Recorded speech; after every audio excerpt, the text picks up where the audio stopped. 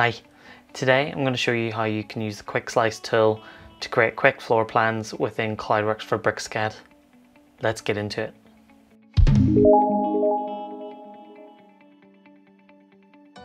Before we start, it's important to note that this workflow can be used with both BricsCAD and with CloudWorx for AutoCAD. We're going to start as we usually do by opening up our LGS file and we're going to crop down our data to the area that we wish to work with. Once we've cropped this down and jumped into a 3D navigation view, we can simply click on the Quick Slice tool. Here we have the options for the different quick slices available.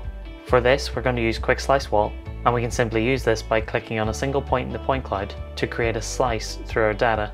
To align the view, simply select the Align View from the orientation and we can also change the colours to make it easier to view. I'm going to change mine to intensity values.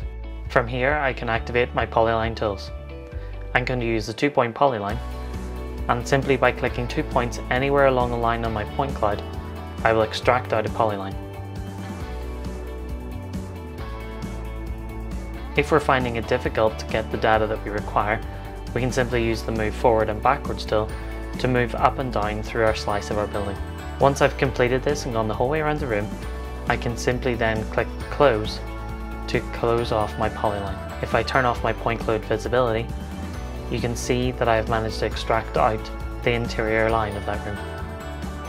Thank you very much for watching. If you have any questions, please leave them in the comments below and I'll catch you on the next one.